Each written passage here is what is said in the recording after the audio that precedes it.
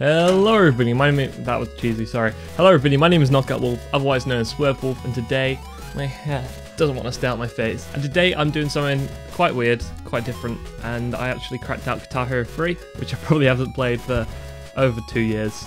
Um, the Xbox trial is still available though, to anyone interested. That was a joke by the way. And you're probably thinking, but how? How? It's Guitar Hero, it's got music on it, it's all copyrighted.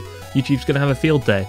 Well, uh, with this bad boy, if you hadn't seen it before, uh, I even made a cheesy intro with it. I'm doing something which I haven't edited yet, so it could sound bad, it could sound good. It, I, all I know is it's taken a long time to do.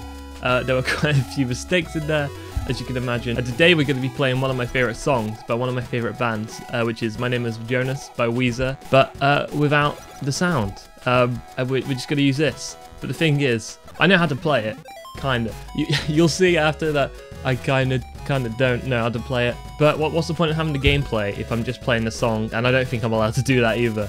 Uh, so I've actually corresponded the, the, the four notes used in medium mode for Guitar Hero. See, in medium mode, we have green, red, yellow, blue. Real life uh, mode, we have F, G, A, C.